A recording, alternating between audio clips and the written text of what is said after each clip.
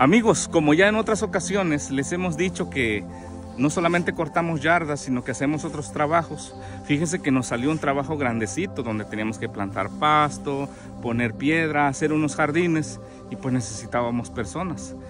Y alguien nos recomendó un muchacho y entonces yo le llamé y le dije, ¿sabes qué? Estamos necesitando ayuda y ya él me dijo, pues sí, este, sí necesito trabajar, pero pues no tengo que ir, no tengo carro.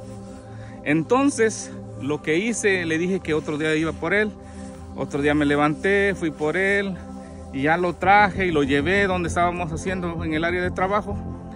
Y mientras yo iba a buscar los materiales, cuando regresé, uno de los trabajadores me dijo, ¿sabe que Ese joven pues no está trabajando, solamente trabaja cuando usted llega y cuando se va, ya deja de trabajar.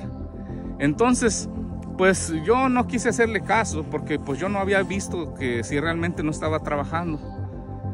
Pero sí, en partes veía yo como que le echaba ganas y como que no.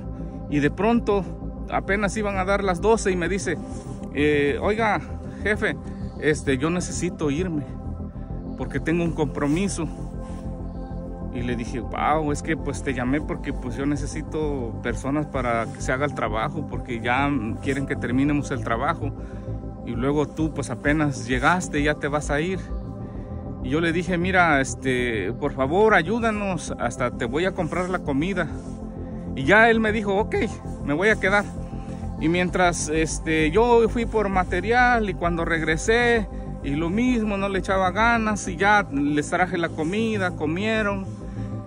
Resulta que cuando acabamos de comer, que me dice, este, oiga jefe, este, pues yo ya me tengo que ir, es que necesito hacer otras cosas. Le digo, pero pues ahorita yo no tengo quien te lleve, este, todos están ocupados.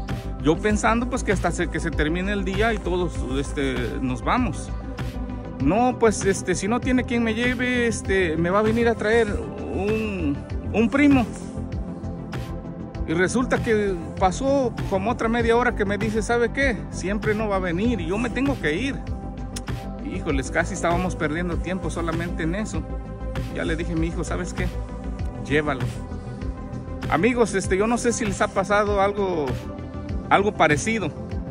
Eh, pero pues es difícil cuando necesitas la gente que trabaje y de pronto se tiene que ir, este, pues no avanza él, no trabaja y también te pierde tiempo. Eh, comenten si a alguno de ustedes les ha pasado esta experiencia, pero no es muy, este, muy favorable para uno.